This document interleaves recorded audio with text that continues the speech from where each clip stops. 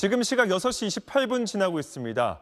대통령과 제1야당 대표의 어제 첫 회담을 두고 여야 반응은 엇갈렸습니다. 민주당은 대통령에게 국정을 쇄신할 의지가 없어 보였다고 비판했고 국민의힘은 소통과 협치에 물꼬를 텄다고 평가했습니다. 정반석 기자입니다.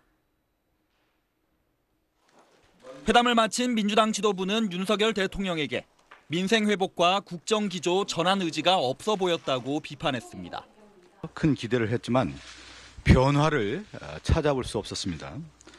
상황 인식이 너무 아니해서 향후 어, 국정이 우려됩니다.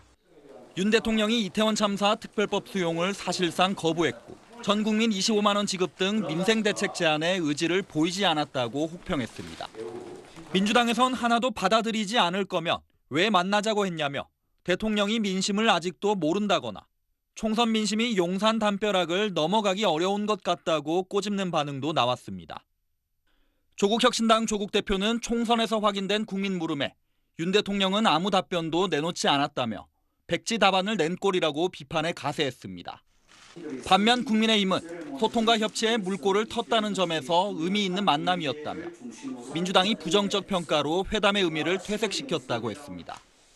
이 대표를 향해 국민의힘 의원들은 준비된 문건을 꺼내 읽는 건 소통이 아닌 공중전이라거나 협치할 생각이 없어 보인다고 날을 세웠습니다.